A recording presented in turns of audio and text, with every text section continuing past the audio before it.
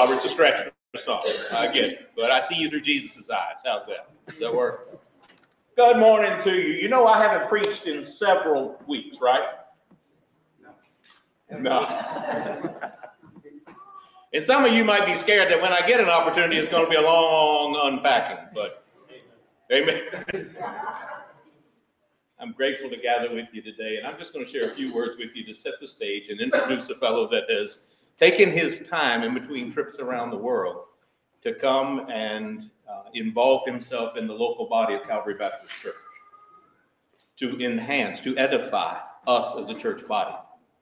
And this is just a preemptive visit to soften us a little bit uh, before the coming in just a month. So I want to give you a portion of a verse to start the conversation and then open in prayer. James chapter 4, verse 8. Before I give it to you, let me ask you Does God keep his promises? Is there ever a time that God doesn't keep his promise? So, James 4, chapter 8, the Holy Spirit says through James, draw near to God, and he will draw near to you. Does God keep his promise? So, what he said is if you draw near to God, that what? Do you want to be nearer to God? That's the grand question. The promise is there. You know God keeps his promise. Do you want to be nearer to God? The scripture also goes on and says, Cleanse your hands, you sinners. Purify your hearts. So the drawing is a leaving. The two go together. You cannot go to Fredericksburg without leaving Bowling Green. You cannot draw near to God without leaving some things behind. And that was an evidence in my life. In 1996, I was in church. I was ordained as a deacon. I was involved in all of the ministries of the church. Uh, I, I assumed that was what Christianity was completely, that you go to church, you go to work. And I was working 15, 16 hour days, six days a week as a plant manager. And I took a study called Experiencing God. I would get up early before going to work at six in the morning. So I'd get up at 4:30 or 5 and do the work for the study. Uh, and I would go to the study group and unpack it. And I began to grow in my hunger for a deeper relationship with Christ. And there was a question in there in 1996 what do you need to do to continue growing this relationship with Christ? And I wrote, I need to give him more time. And after the study finished, I would continue to get up before going to work with my Bible, with a spiral notebook, and I would pursue concepts, words. I would unpack verse by verse. Those of you who've been in class with me know that I'm a verse by verse teacher because that's the way the Lord taught me. And I would chew on words and concepts. And, you know, Jeremiah 17, I spent six months on four verses as the Lord just nurtured me in doing in this journey. I was hungry.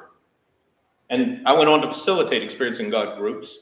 And in 1999, I was uh, facilitating a group and somebody in the group said, Is the Lord calling you to ministry? And I was like, Absolutely not. I mean, y'all know I'm not degreed or any of those other things. And I was running a plant, I had a daughter, I had a wife, all these other things. And they said, We think He is calling you to ministry. So it was in an experiencing God group that the Lord pivoted me from just being in church to having a hunger for God and for the Word of God. And it was in an experiencing God group that I got the first indication that God was calling me to ministry. And y'all know where that has led. When I first got here, the Lord equipped me to facilitate experiencing God with this group. But it's been more than 10 years since that was done. And when we were looking for some kind of retreat, some kind of gathering for us as a body to participate in, I did some searching and surfing on the web. It has to be the web because I can't surf on water. I don't have that kind of gravity. I found there's Experiencing God weekends, and they will send in teams to lead the weekends. So I reached out to a fellow by the name of Bob Payne, and without hesitation, he said, Sure. And so I'd like to invite him up here today, but before I do, I would like to invite you to close both hands. Tight. Close your eyes and bow your heads if you will. I want you to imagine that in your hands is what occupies your time, your talent, your attention right now. It's the things that captivate you. It's the things that bog you down. It's the things that ensnare you because it's what you're holding on to. It's what you're pursuing after. And I encourage you in your spirit to remember the words that God promised draw near to Him, and He will draw near to you. And now I pray that if you will, if you will, this is not in my words, you don't follow me, you follow Jesus. If you will, and if you want to draw near to God, that you just open your hands as a symbol of letting go of your ties and attachments to things that occupy you other than Him. And let me pray. Heavenly Father, I come to you in the name and authority of Jesus Christ because that's the only way I can come. And I'm grateful, Lord, that you've made that way. That you hear what I ask by the words of my intercessor in your ears. Lord God, as we open our hands here today, it is just an action of what we pray. You're working in our spirits to let go of the things that ensnare us, the thorn and thistle of this world, the pursuits of this world that occupy our time and attention, even within church life, Lord God. Because we can be too occupied with the things of religious exercise that we miss our Christ. So, Father, for those that have opened their hands, Lord God, I pray by your Holy Spirit that you open their hearts that we as a body can draw near to you in this time. That we can receive whatever you're going to say to us through your servant today, Lord God. And that you're going to take what we hear today and you're going to begin to work it deep down into our inner being, Lord God, to begin to mold us and transform us to be more in the likeness of Christ, Lord.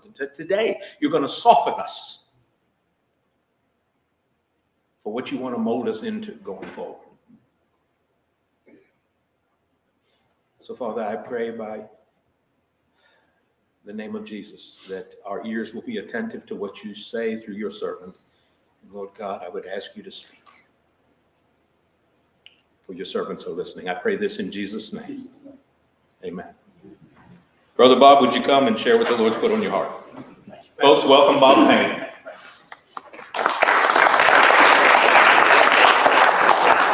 Morning, and thank you for your invitation. Uh, a few things have happened in the first 15 minutes that are the serendipities of God, and you'll hear that through my message. Uh, the pastor, nor your worship team had any idea of what I was going to speak on or preach on today, not even the scripture. But there's been some serendipities of God happening in the last 15 minutes. It really touched me. Before we begin, I do want to pray for you. I love praying scripture back to the Lord. I've spent many, many, many months in Ephesus and uh, preaching at the amphitheater there. And I'd like to pray some of Paul's prayers at the church of Ephesus for you and with you this morning. Let's pray.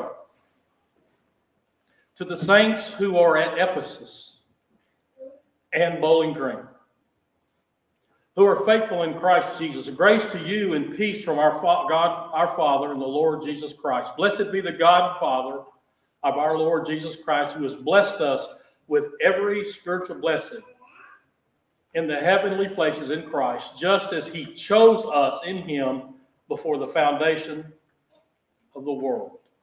For, there's, for this reason, I too, having heard of your faith at Bowling Green, your faith in the Lord Jesus, which exists among you, and your love for all the saints in this community, I do not cease giving thanks for you while making mention of you in my prayers that the God of our Lord Jesus Christ, the Father of glory, may give you a spirit of wisdom and the revelation in the knowledge of Him.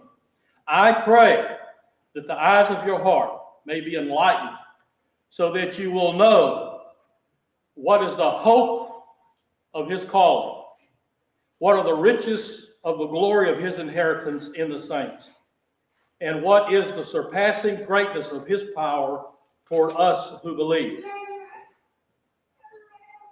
For this reason, I bow my knees before the Father, from whom every family in heaven and on earth derives its name, that he would grant to you in Bowling Green, according to the riches of his glory, to be strengthened with the power through his spirit in the inner man, so that Christ may dwell in your hearts through faith, and that you, being rooted and grounded in love, may be able to com- comprehend with all the saints what is the breadth and length and height and depth, and to know the love of Christ which surpasses knowledge, that you may be filled with up to all the fullness of God. Now to him, now to him who is able, now to him who is able to do far, far, far more abundantly beyond all that we could ask or think, according to the power that works within us, to him be the glory in the church and in Christ Jesus in Bowling Green to all the generations forever and ever and ever. Amen. Amen. Well, I'm here this morning to introduce you to a little bit about what experiencing God means. And a little over 30 years ago, the Lord touched a man named Henry Blackaby, just an average guy that doesn't even know how to put socks on.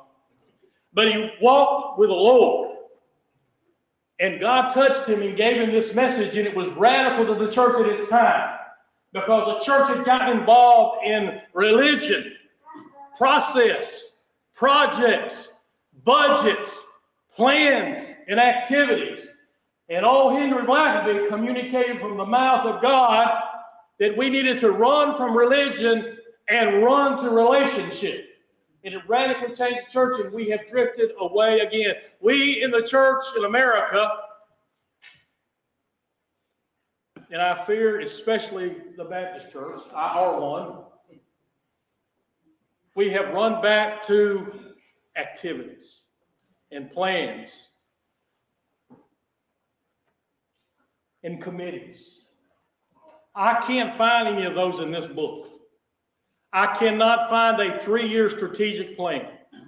Our model is Jesus Christ, and the, the, the model of Jesus Christ, according to the Word of God, is He got up every morning, He spent time with the Father, and the Father told Him what to do today.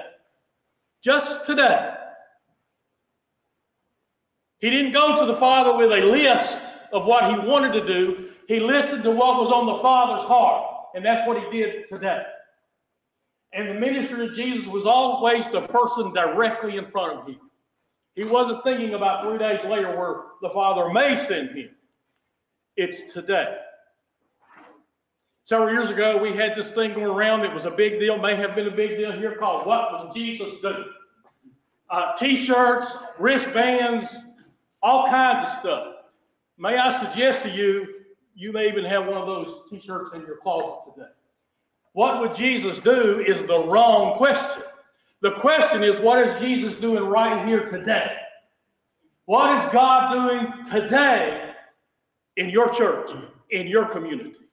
What is He doing today? And experiencing God, knowing and doing the will of God is that product.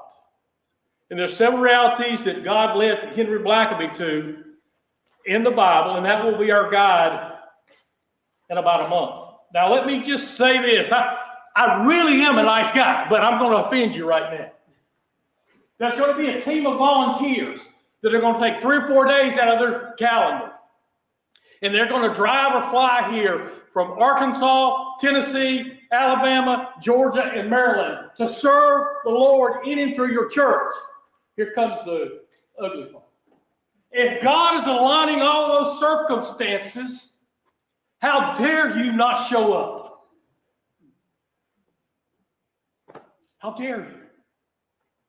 God is conveying serendipities for this community and this church next month. And people have volunteered their time and their money, and the investment of their lives in this church. Again, I'm sorry, but how dare you not participate? But I've seen this process work at over 400 Baptist churches in America and over 100 churches around the world.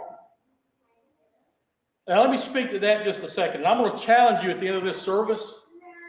But let me ask you a question. When's the last time you prayed for this church? I'm not talking about going to the Lord with your list. Well, when is the last time you went to the mountaintop and listened to the heart of God for this church and this community? Jesus said, Could you not keep watch with me but one hour? He didn't say, Could you not come speak to me for one hour? He said, Come listen to the Father's heart. When is the last time you did that? I have an incredible email list. And before I go anywhere, I send out a message to hundreds of churches around the world. And before you woke up this morning, churches in Russia, Ukraine, a hermit woman that's 92 years old that I met in 1999 in Ukraine that lives in a cave is on the team.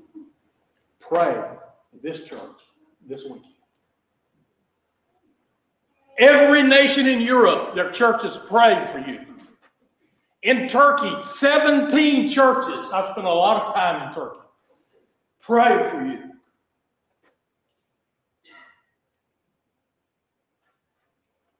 Iraq, 20 times. There churches all over Iraq praying for you. Did you know that Iraq is our home base?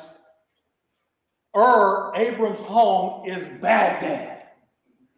I've been to the temple, it's still there. Abram's home is still there. And so thousands of believers in Iraq are praying for you as they are in Iran, where I've been many times. Syria. Their churches in the midst of war praying for you. Nigeria by the thousands. Sudan. Congo. Zambia. South Africa. Conservatively, because of the seminaries I teach at in Nigeria, and the churches I preach at all over Africa, conservatively, 250,000 Africans are praying for you today. I ask you again, when's the last time you prayed for your church? Early this morning, the East Coast of the United States, every state, their churches pray for you. Every province in Canada, pray for you. Even California is praying for you. Churches on nine islands in the Philippines praying for you. One man that I know through the internet in a place that I've never been before that I'm going to in a couple of weeks, the world's largest atheistic country, one man is praying for me. Do you understand that he could lose his life today by bending his knees? Oh, Pastor, you don't know. I can't pray on Wednesday night. Wheel of Fortune's on. Or I can't pray on Sundays because the commanders have a game. Don't try that with me. I want to tell you about one church. When I go to Nigeria, there are two seminaries there that I'm a volunteer professor at. And then I have many, many students up in northern Nigeria. Maybe you've seen on the news the last seven or eight years a group called Boko Haram. That's the radical Muslim sect. And I have students that pastor tiny churches and villages there. So after I go teach in the seminary for six weeks, I get on a little motorcycle with a Nigerian driver and we go up in the north. And I visit. One Sunday, several years ago, I was preaching in this little thatched church, maybe 50 people. About 10 minutes into the message, an explosion hit the back door. And then another explosion. And then Boko Haram came running in, shooting people. People were dying in front of me for the cause of Christ. I'm fairly certain that's not going to happen here today. And my driver grabbed me and said, Pastor, Pastor, we must go. I said, I can't go. He said, We must. He drugged me out the back door. We got on his little motorcycle and headed to the Nigerian desert. About 10 minutes out, the only thing I can carry there is a backpack. On on that little motorcycle. And about 10 minutes out, my backpack fell off and I said, Stop. He said, No, Pastor, no. We went about 25 kilometers to the next village to bed down for the night. And I said, We must go back tomorrow for my backpack. He said, No, no. I said, I must. My Bible's there. He said, You Americans have many Bibles. I said, Yes, I do, but I have a preaching Bible. So the next morning, we came back. You have to understand when we were left running, uh, we were on one of these tiny little, it's not even a motorcycle. And this guy driving me on the front is about nine pounds. And I'm a big guy now, but I was 100 pounds more than him. So we're going through the Nigerian desert like this. That's why my backpack fell. We went back and we found my backpack and it exploded throughout the desert. And I found my Bible in 17 pieces. The only thing I did not find was my the back cover of my Bible. And so I have it encased in a plastic cover now because I never want to forget the persecuted church. And how blessed we are here in America to be able to come here and not worry about that. And when my youngest son was deployed the first time, I gave him that Bible.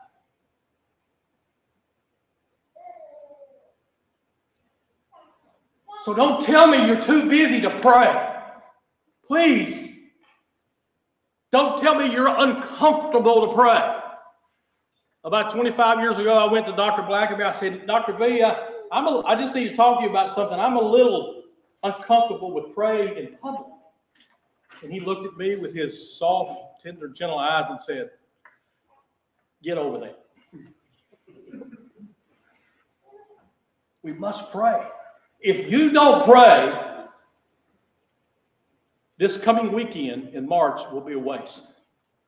You must, all we're asking you to do is invest your time. Jesus spells love T I M E. You must spend time with Him.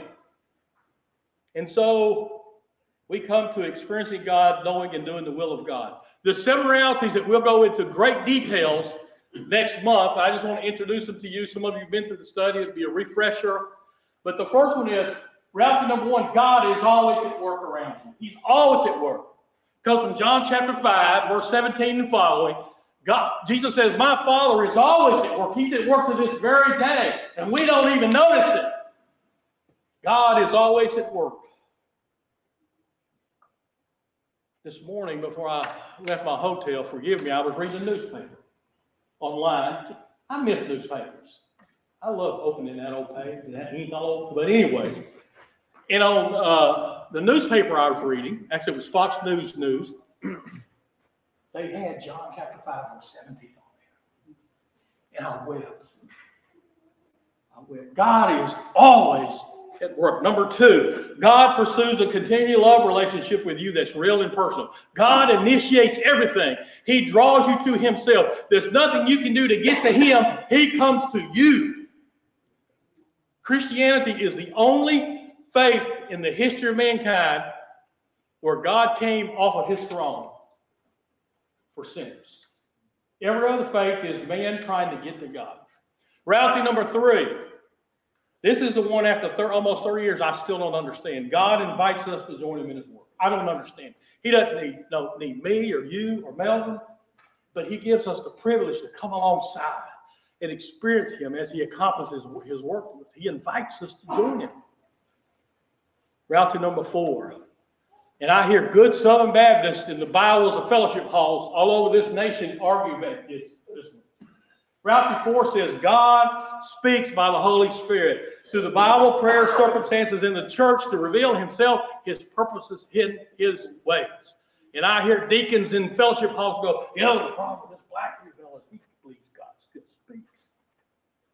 And I'm here to testify to you today. I know my Redeemer lives. I heard His voice today. God speaks.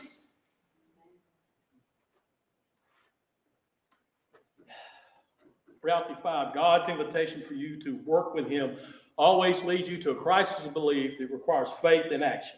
It's not a crisis, it's not a lost job, It's not a past due power bill. It's not a car wreck. It's not cancer.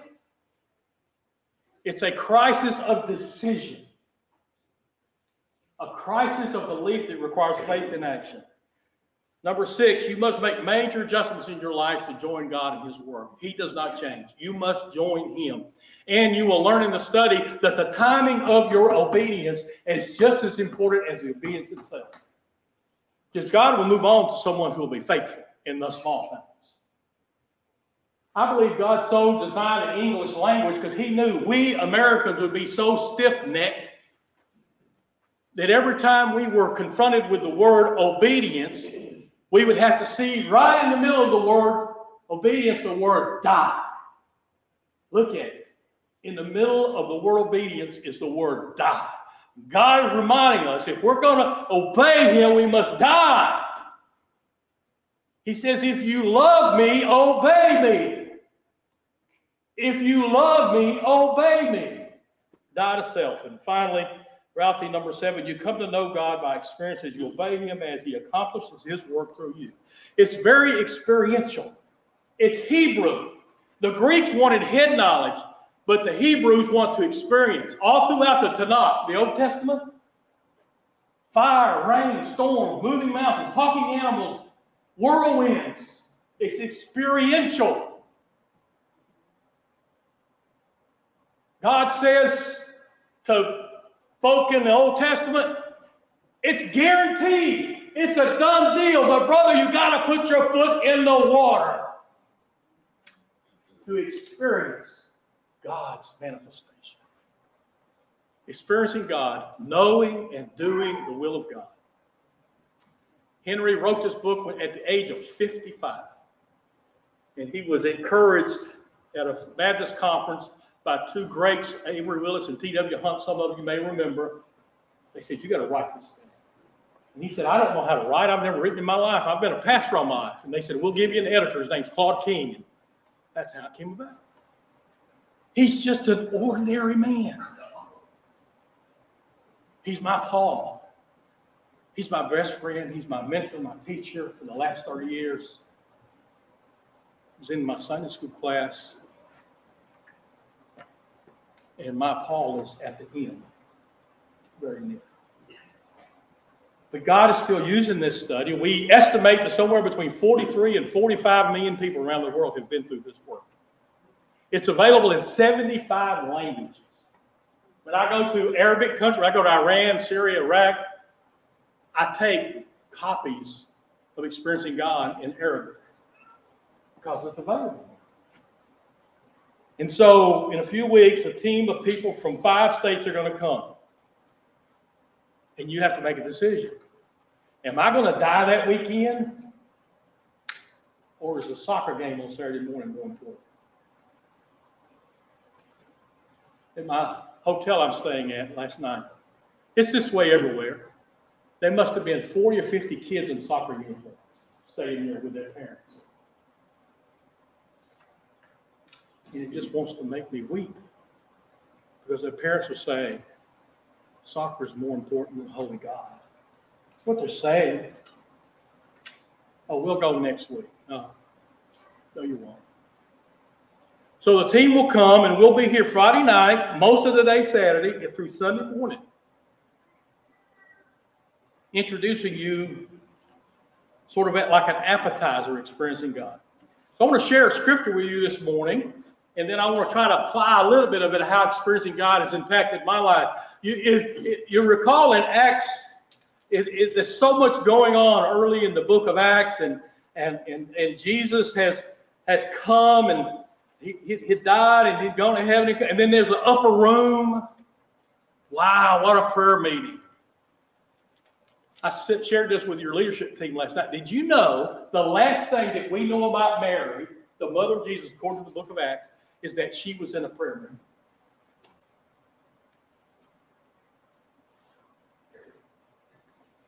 Bob Jeopardy comes on at 7:30. I don't know why God put that in the Word of God, but there's nothing in the Word of God that's accidental, incidental. He wanted us to know that Jesus' mother, the last thing she did was in, she was in a corporate prayer meeting. That's it. And she had just lost her son. And the day of Pentecost has come, and Peter is preaching. It's incredible, his words that he's preaching, and he's rehearsing for those that will listen, really the history of the nation and all the rebellion. There's a healing of the lame beggar in chapter 3, and people are trying to give uh, Peter and John credit for this. And Peter says, Men of Israel, why are you amazed at this? Or why do you gaze at us as if by our own power and piety we had made him walk? The God of Abraham, Isaac, and Jacob, the God of our fathers, has glorified his servant Jesus. And he goes on because they're about to put a hit on Jesus Christ.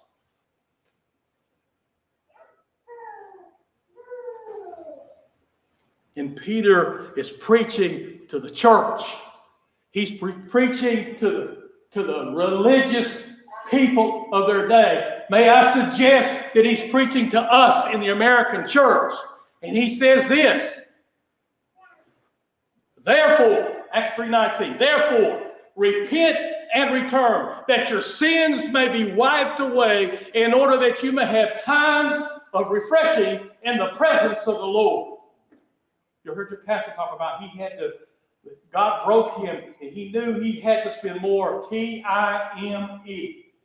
Therefore, repent and return, that your sins may be wiped away, in order that you may have times of refreshing in the presence of God. I suggest to you, even though it's rarely preached these days in the American church, I suggest to you that repentance is the most positive word in the Bible. You know what it means. I'm simply turning from what I was doing and returning to my Holy Father. And we rare, you know what I hear a lot in the Baptist churches today? I hope you haven't mentioned this because I'm going to be in trouble. I hear a lot about rededication. It's not in the Bible. Show me in the Bible where it says rededication. It's repentance. And if we're not regularly repenting, we're not in right relationship with Jesus Christ. We're just not. He calls us to repentance. I, I haven't even asked Melvin this, but I feel this way, and most pastors that I have deep conversations with tell me this. He would rather tell you, for you to tell him at the back of the door on Sunday, boy, I really didn't like what you said today. What you said today rubbed me the wrong way, than you say, oh, that was a wonderful message, Pastor. He needs to be using heavenly sandpaper on your heart. Let me ask you a question today. If I could, we, we go to hospitals a lot, and they do all kind of tests, and they can even put a machine on you and scan your heart. If I scanned your heart today, what would it look like? If we scan the heart of this church, this important church in this community, would it say there's some blockages? Would it say there's some some grafts that need to be rubbed away? Would it say you need an incredibly quick bypass surgery on the condition of your heart? And experiencing God, knowing the will of God, addresses all of that. It's all centered on reality number two. God pursues a continuing love relationship with you that's real and personal. So, what's the condition of your heart scan today? It's a hard question. Is your heart in a condition so that God would invite you to join Him in His work? Or perhaps He's convicting you today that you must repent in order that you may have times of refreshing in the presence of the Lord. So I suggest to you that this weekend will be, can be, should be a time of refreshing for this church, for this people, for such a time as this. A time, the, the Bible is so clear. You need a refreshing, repent and spend time with the, with the Lord. That's it. That's it. Joshua 1 9 says a little bit different. He says something like this. He said, he says, uh, he says, uh, uh, dive into the Word of God, and you will have success. Times of refreshing in the presence of the Lord. So, I was a member of United Methodist Church in downtown Atlanta, small church. I was a city boy. Uh, I didn't drive I was 23. We walked, rode a cab, took a bus. I was a city boy. Little Methodist Church in downtown Atlanta because it was two blocks away. It was easy to get to. And they had a children's program. I got introduced there. I met my wife there. I followed her home from school there in the fifth grade. Today I would be a stalker probably. And it wasn't a surprise when we got married there, it was just when. The question was when. And we were members there. Small little church, about 70 people. And loved it. It was, frankly, it was easy. They had really good fried chicken. Peach cobbler, yeast rolls. I could smell a yeast roll from two miles.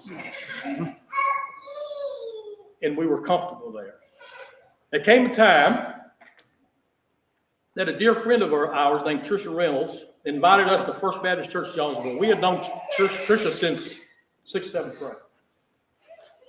And uh, my wife says, we need to go visit First Baptist Jonesboro with Tricia. And I said, no, not going to happen. She said, I want to go. I said, look here. First of all, it's a big church. They're like 2,000 members. And uh, people call it the Cathy Cathedral because Truett Cathy of Chick-fil-A was a member of that. Stupid people, including me. And it's in the country. It was 35 miles away. We lived in the city. And oh no, this is the worst. They were Baptist. And I literally said to my wife, that's a cult, right? Truth. And said, I said, I'm not going. I'm putting my foot down. I am not going. So Sunday morning, we pulled up in the parking lot of First Baptist Church. All these people walking in. I'm shaking. I'm nervous. People walking in, and most of them, Pastor, not all, but most of them were smiling. That was unusual. And about 90% of them were carrying a book. I didn't have to do that in the Baptist church, I mean, the Methodist church. The, that's the pastor's job. I don't have homework. That's your job. So I walked into that church kicking and screaming, and we sat down, scared to death, thousands of people. And uh, I heard the greatest preacher I ever heard person in my life, Dr. Charles Q. Carter. And I turned to my wife and said, Where has that been the last 15 years? And we started an adventure of a little over seven years attending two churches. That'll mess you up. We go to the Baptist church first service at eight, then run back downtown to the Methodist church. Split personalities. And uh, we did that for a long time. My wife got involved in everything at Jonesboro Baptist, including Sunday school. And uh, she kept tell, asking me to come. I wouldn't go. She begged me to go to Sunday school. No, not going to go. I was scared to death. They'll ask me a question, I don't know the answer. That was my reason. She kept asking me, and she prayed for me. That Sunday school class, Cindy and David McKee, every week they sent me a handwritten note in the mail. Young people, that's a you get a piece of paper. I know they don't teach writing anymore, but you write a letter, you fold it up, you put it in this thing called an envelope, take it across the street here to this brick building that has a flag, you give them about 60 cents, whatever it is now, and they will take that sucker wherever you tell them to go. And they wrote me handwritten letters every week. When I was home, and probably when I wasn't, they would come to our home and knock on the door. Now, you've probably never done this, but I ducked and closed the blinds. I did not want to be confronted with that Sunday school class. They called our house every Saturday. And you had to answer the phone. We didn't have caller ID. It might be Granny. You got to answer it. And the Holy Spirit would use Cindy and David McKee to confront me. And most of the time, I lied to them why I couldn't or wouldn't go to Sunday school. So my wife again kept asking me, begging me, pleading with me, nagging me to come to Sunday school. And I wouldn't go. At the first service, she would go straight down to the fellowship hall. I would turn right. I started building, you know, a built-in lie. I traveled six days on business, so then I started traveling on Sunday mornings. Lie, lie, lie. After service, I had to go to the airport. Got to make a living. Got a house to pay for. We got three kids. Mel and I and I have very similar backgrounds. And one Sunday, I was supposed to go to New York City to speak at a convention. And I don't know why. But instead of turning right, I turned left. I repented and I went with my wife to that Sunday school class. And we walked in, 40 people stood up in spontaneous celebration because King Bob finally came to Sunday. school. and they shared with me that for seven years they prayed for me every Sunday morning. That, that'll touch your heart. They were, David were passing out cards to everybody. He was doing it anyways to update their records, names, address, all that kind of stuff. And anything you might want to help with in Sunday school, and they had this checkbox thing. And one of them was teach. Well, in my corporate world, every week I spoke at huge conventions and conferences all over America. So I'm dumb sheep. I hit teach. You don't do that in a Baptist church. The next Sunday, I'm a Sunday school teacher.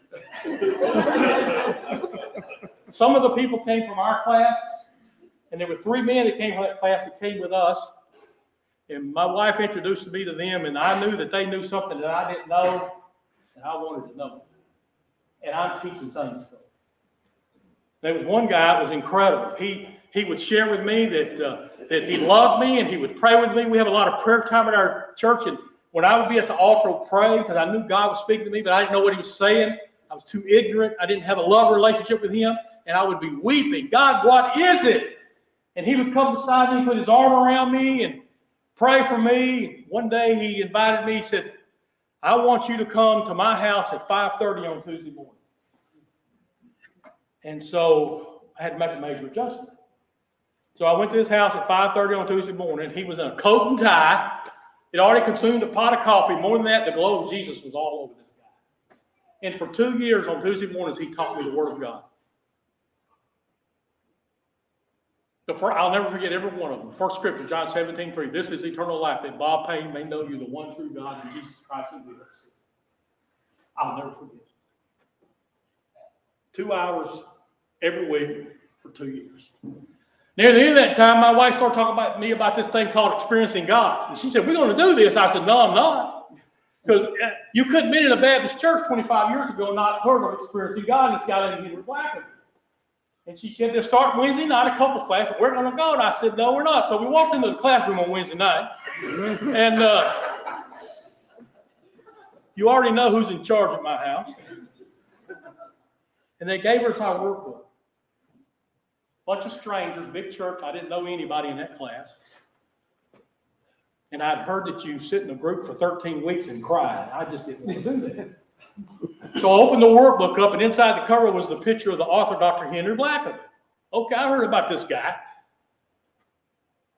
And I began to shake and weep and sweat because the author of Experiencing God was the man who'd been teaching me scripture for two years in his living. Oh. He never said, My name is Dr. Henry Blackaby, and I pray to the president and Billy Graham. He just said, I love you. I want to come alongside you. And I knew I had an incredible debt to pay. People all over the world would give anything for 15 minutes of Henry Blackaby's time. And He's my best friend. I didn't know he was in Jonesboro. I mean, I'm telling you, I'm the dumbest sheep at Jonesboro.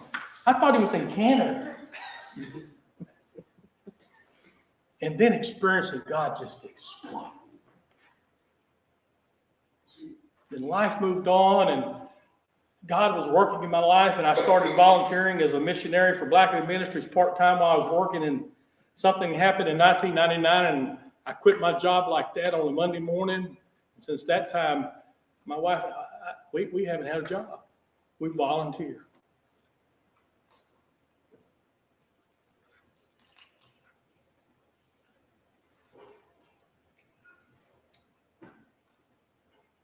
There's many things I would love to have been able to do for my kids and my wife and my grandchildren now.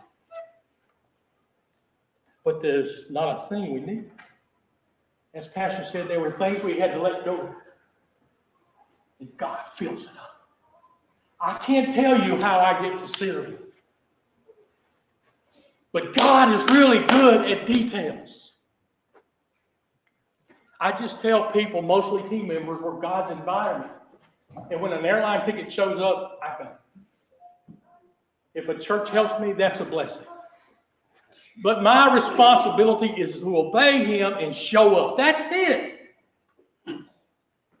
Show up with the word of God. That's it. Now, where I'm going to in a couple of weeks, I can't take my Bible with me. I can't take my ring because it has script, uh, scripture in Hebrew on it. I'll have to leave it at home. I never had to do that before.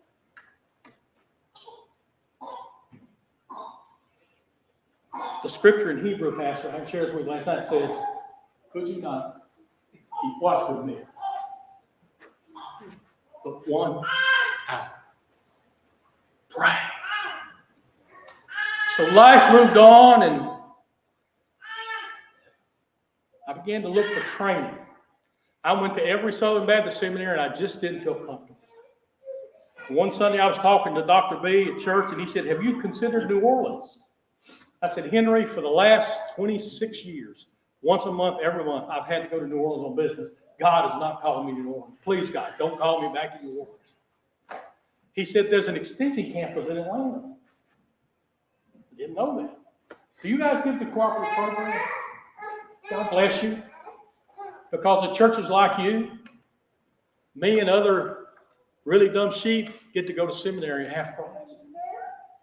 When you leave your job, that means a lot. So I visited the extension. I just fell in love with it. We have 500 students in Atlanta. We have more undergraduate students in Atlanta than we do have in New Orleans. And so I, I, I register and I'm going to my first class in February. It's freezing outside. It's in the teens. And I'm a little anxious. I haven't been in college in 25 years. What is a footnote? How do you do that? Anyways, so I pull up. I'm a little anxious, a little nervous, and I pull up, and boy, I'm just shaking, scared to death. Old man going to school. And I see people walking in, young people, people with hair, dark hair, skinny people, young people that don't have a clue what a 401k is, happy go lucky, let's go to school. And I knew I cannot compete with these kids. Can't do it. And I started thinking, I've made a major mistake. I've got to call Rita and tell her maybe I can get the job. And I'm sitting in my car shaking, sweating, and it's freezing outside. And all of a sudden, there's a knock on my window. Hey, bud, are you okay? And I'm like, he said, Are you sure? Put my foot on the brake, put it in reverse. Tell lights come on, I'm leaving. And then this old man said these incredibly illogical words. You know, the best I can tell, the Apostle Paul went in his first missionary journey in his 40s, and he went barefoot. I hit the electric switch and said, Say what? And he repeated that. And he said, Come on in, it's going to be okay. God put the hope through the Holy Spirit, put that man right beside me, and he knew exactly what to say. If he would have said, Pastor, it's time for class, I'd have left. But he was illogical. And my first thought was 2,000 years ago, a bunch of illogical people took a man on a roof, knocked a hole in to get into Jesus. I just experienced that in my car. My second thought was, I have the Bible. Paul didn't have one. My third thought was, I, see, I'm thinking logically, right? My third thought is, I can fly to Delta, to uh, Ephesus on Delta. I don't have to walk. And he, he said again, it's going to be okay. And I went in, the promise of God, Dr. C. Dan Parker, he was my first professor. He loved preacher boys. He didn't care if were 18 or 48 or 58 or 68. And I fell in love with Dan Parker. And after the first class, he called and said, I want to talk to you a minute. Okay. He said, in October, we're taking a mission trip to Ukraine. And with some students, I'd like for you to go with us. I said, Dr. Parker, I've never been overseas. I travel all over America, but I don't have a passport. And my wife, who's very logical, is going to say, all right, big boy, you just quit your job. How you going to pay for this? I said, but we'll talk about it. So I went home. Sitting at our kitchen table having a family business meeting, I share this, what happened with my wife in a little bit more detail. She says, all right, big boy, you just quit your job. How you going to pay for this? While we're talking, I'm opening my mail and I had a letter from a group that you may be familiar with, Focus on Family. And a friend of mine there says, we're taking a group of men to the Ukraine in October. We want you to go with us. Here's your sign. I got two invitations within one hour to go to the same place as eight months. We had a brand new pastor, young pastor in a big church. Our pastor had retired. So I called Dr. Dean Hahn up. He didn't even know me. And a busy young pastor, I said, Dr. Hahn, I need to see you. Boy, he says, come on over. I, I'll, I'll be here. He said, before you come, I want to, you to talk to your wife about this and y'all pray about this. I said, yes, sir. He said, before I came here, I found out that we didn't, as a church, cooperate very well with the association. You know, we big churches, we got our own program. So we, we sent them money, but we didn't do anything. And so I had the association staff come over today and talk to our staff about association ministry. And just before they left, they said, oh, whoa, one more thing. In October, we're going to the Ukraine. He said the staff had prayed and they all agreed that Bob Payne should represent Jonesboro in the Ukraine. And I said, Dr. Hahn, I don't need to come see you. And he said, why? I said, I got to go get a passport. Long story short, I wound up going with our association, representing First Baptist Church of Jonesboro. When I got to the airport, I found out there were 200 people going from many, many churches. We didn't even know our team members. So I was told I was going with an experienced pastor to learn how to do mission work. Okay, 14 days with experience, good deal. So I get to the airport. The guy from the Georgia Baptist Convention finds me. He says, "Oh, your pastor can't come. He's had an emergency in the family. Now you're the pastor." I said, "Whoa, whoa, whoa, whoa, whoa! I've never preached in my life. I'm supposed to be. You're the pastor." Henry Blackaby kicked in. And I said, "Okay." He introduced me to my team. A 76 year old lady from another church, an 82 year old lady from another church, an 83 year old lady from another church, and a 78 year old man named Henry Bedford from Tallapoosa, Georgia. Henry, and I thought, wait it's going to take us forever to get even- anywhere. I got all these old people and a fat boy. How in the world are we going to get anywhere? So I found out that Henry had had a rough life. He was disfigured. His face scared me. And he walked like this. He had had a couple of strokes and had been in an automobile accident, had several surgeries, and he walked like this. Scared me to death. And they said, my job was to get Henry Bedford to Ukraine and back. So we get on the plane. I'm scared to death. These guys sitting next to me. He doesn't say a word. We get off. Finally, after two or three connections, we're going through customs. They're tearing all the women's baggage up. They see Henry. They're scared of him. They let us go. And after about a two and a half hour ride east to the border of Ukraine and Russia on the Dnieper River, we came to this lean-to shack with this couple that you know just really didn't have much. And and since i was considered the pastor they gave me and henry their room their bedroom. And the lady slept on the floor other places and so forth but henry bedford and i slept on a twin mattress on the floor together for 13 nights i'm talking about spoon fed i'm talking about we got to know each other really close the first night but Henry had never talked. We got up early the next morning. Russians and Ukraine sleep late. We got up about five o'clock. We got got dressed, and Henry said, "Let's walk." That's the first thing he said. Let's walk. Okay. So we're going through the Russian woods. He's like a Marine on a force march, and I'm dying. I found out he had a pedometer. He had to walk six miles a day. So we walked three miles, around. At the three mile point, we're at this huge granite stone, huge, maybe close to the size of this room. It was three mile marker. And he said, Are you going to read the Bible or I have to slap you? This is guys. So I had a pocket New Testament. I read out of First Peter. And then he climbed the rock. I, don't know how. He climbed the rock and he lifted his hands to the sky and he sang, How great thou art. He sang it like I'd never heard before or since. He came down off the rock. and He said, Your turn. He said, Henry, I don't sing. I'm learning to pray. I hope I learn how to preach someday. He said, Your turn. So the Lord's teaching me to follow old men. No offense, sir. anyway, we had some fun. Anyway, so somehow I negotiated that rock. Climb up that rock. And Henry lifted his hand, so that's what I did. And the only song I could remember was a praise chorus that our music minister was teaching us.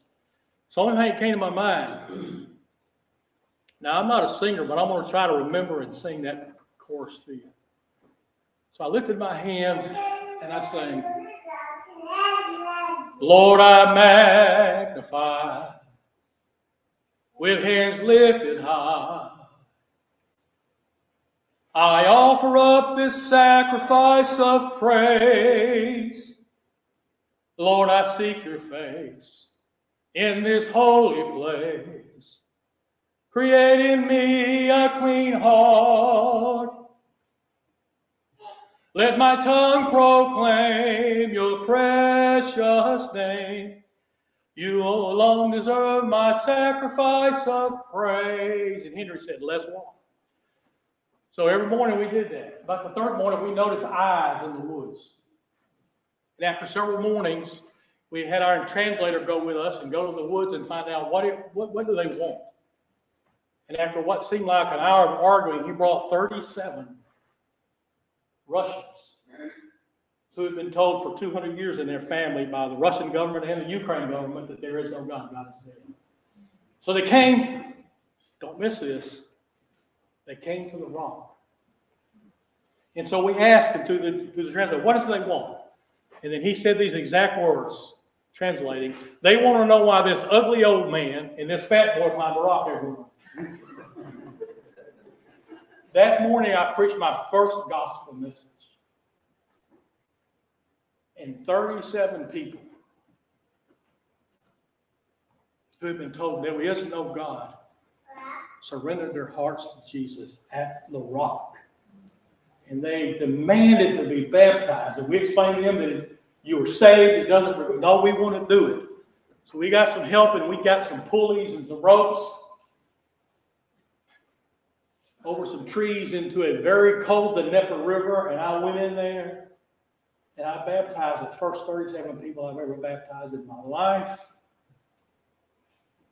And I said, Thank you, God. You see, God is always at work. God pursues a continued love relationship with you that's really personal. God invites us to join Him in His work, and God speaks by the Holy Spirit. And He brings us to a crisis of belief that requires faith and action. And we must make major adjustments to join him. And we come to know him by experience. And I thank God for a nagging, praying wife. I thank God for a faithful, faithful Sunday school class. I thank God for Tricia Reynolds who invited us to Jonesboro. I thank God for an old man named Dan Parker who knocked on my window. I thank God for Henry Blackaby. I thank God for my church. I thank God for a lady you don't even know. You'll hear about in about a month named Terry Mitchell, who started all of this stuff. Because God is always at work. Three years later, I was driving from Atlanta to uh, Raleigh from a meeting with a pastor, and it's about an eight-hour drive. And I got there, and the pastor's secretary said, "He can't see today. He's busy." I went, "Wait a minute! I just drove from Atlanta. He can't see you." So I left kicking and screaming. You probably don't do this. I was arguing with God. God, don't you know how busy I am? God, do you realize how expensive this gas is? Such an idiot. Such an idiot. I'm driving south on 85. I'm just going to go back home. I'm not going to get a hotel. Around Greensboro, my, my phone rang. Unidentified. I never answered those, but for some reason I answered it. This guy says, Is this Bob Payne? Yes. I've been looking for you for a week. I got your number from First Baptist Jonesboro. Okay. He said, I don't know what happened three years ago here, but I'm in the Razishev region of Ukraine. I pulled over to the side of the Interstate 85. He said, There's 200 people in this church today, and they have something to say to you, and I'm going to hold my phone. So I'm sitting along I 85, arguing with God, and I hear 200 Ukraine voices saying, Lord, I magnify. God is always Recently, I've been back to Ukraine. I don't have time to tell you that, but maybe during the weekend. Do I have a few more minutes? Oh, I love churches without clocks. I just want to tell you a couple more things. You brought your watch, we a break. Um, sometimes times of refreshing are difficult. 2004, 2005, I found myself in a place that was not on my calendar. It was called pancreatic cancer. It was the worst two years of my life.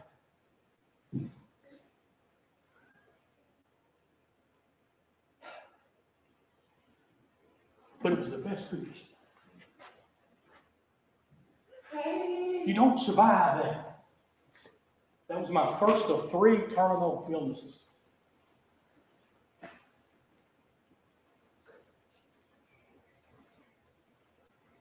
And we experienced God's love.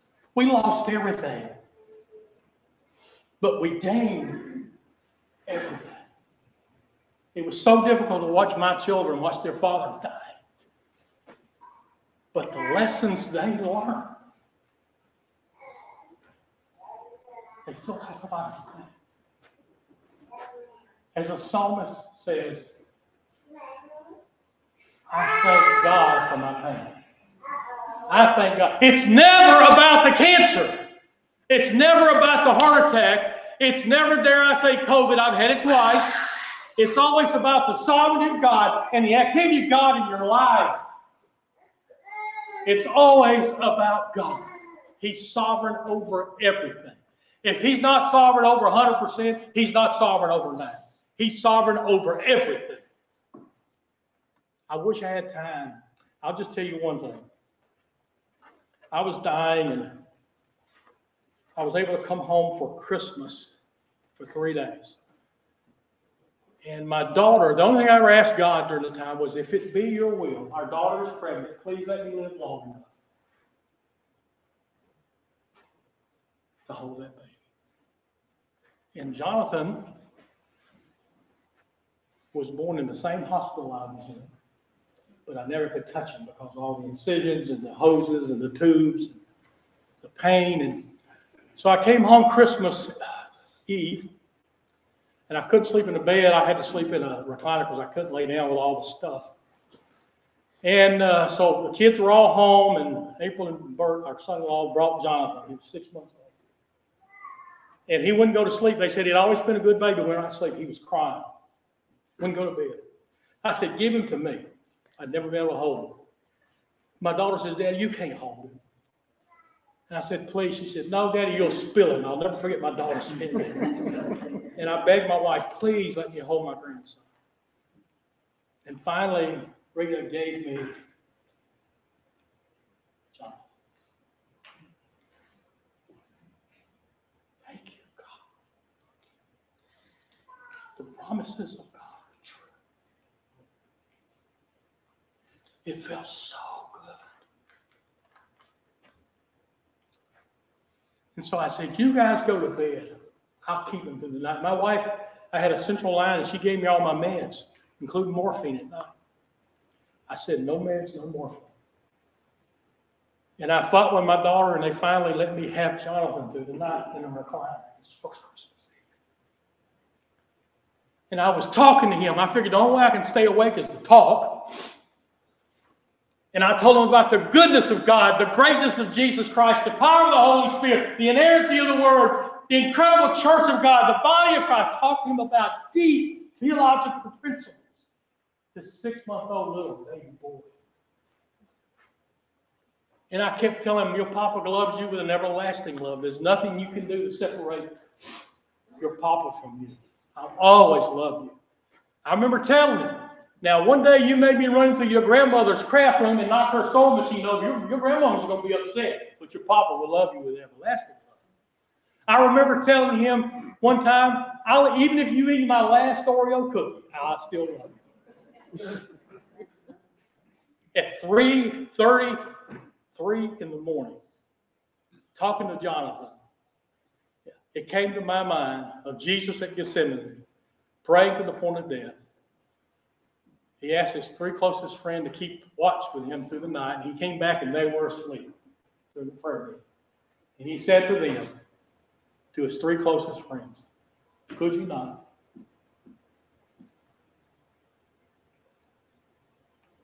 Keep watch with me, but one. And my grandson initiated that ministry that I'm involved with. Every email that I send, those words on the bottom. It's what's on this ring. That little baby boy. I'll take him to college. Baptist college. Anyways. But I'll just say very quickly, in uh, uh, 2009, August 2009, there was something going around the world called the H- H1N1 virus bird flu. Three people in Atlanta got it. I was in ICU, lost a young. That was my second.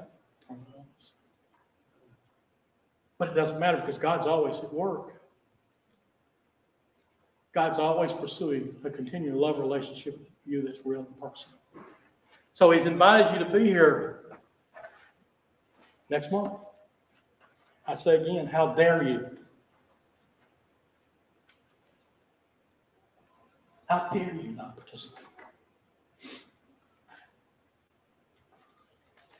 We're going to have a different invitation this morning, okay?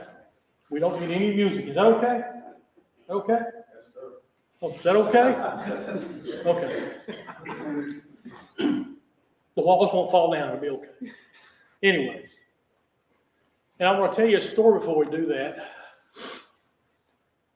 Is a, this is a thirty-minute thing, I'm gonna try to do it in two or three minutes. Clark King and I, mostly Clark, did some research several years ago, and you can watch him on a video do this, he'll do it much better than me it up.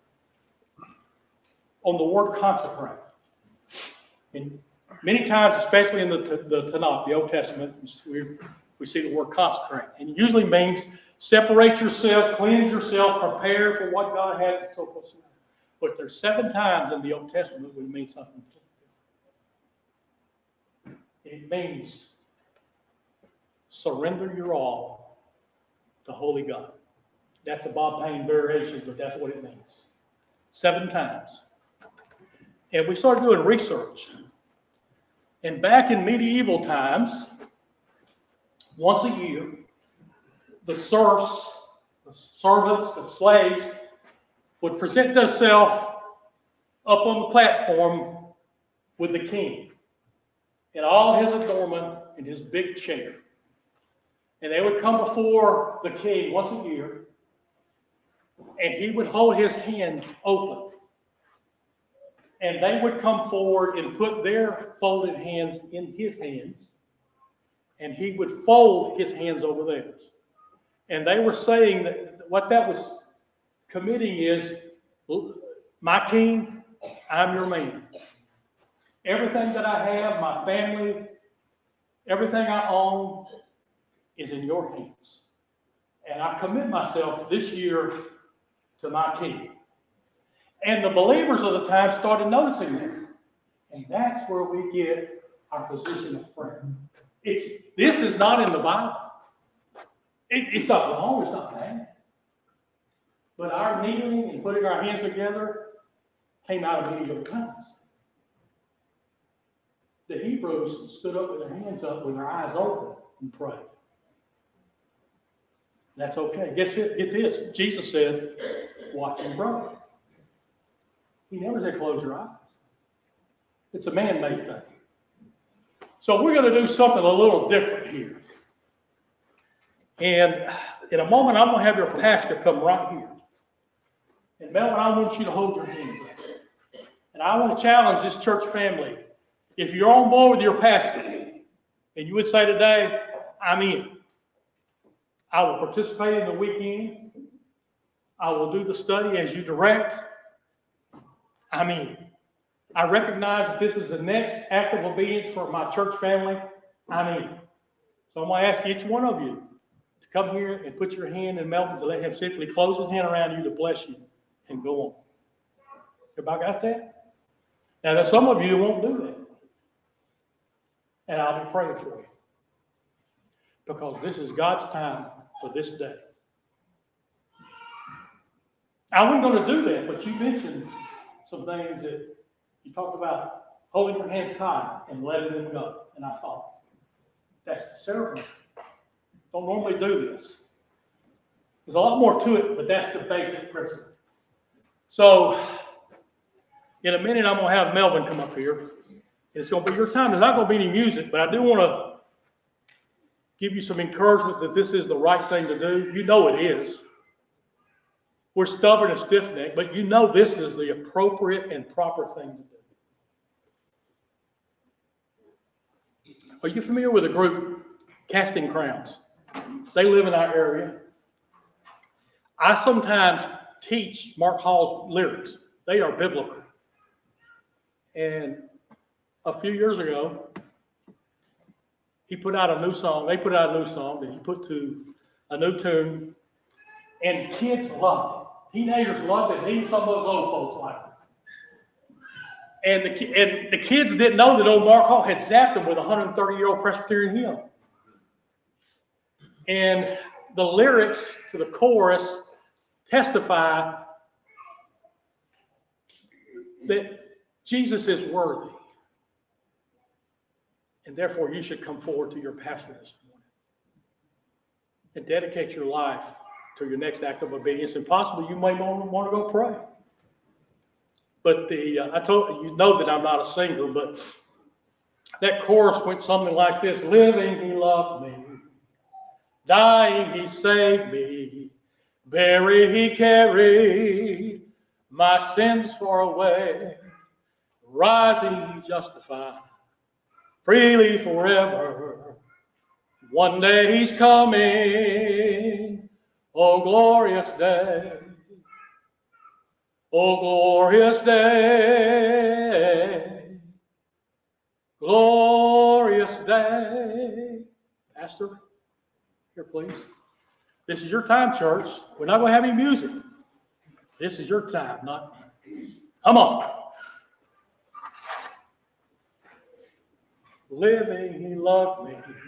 Dying, he saved me. Buried, he carried my sins far away. Rising, he justified freely forever. And one day he's coming. Oh, glorious day. Oh, glorious day. Glorious day.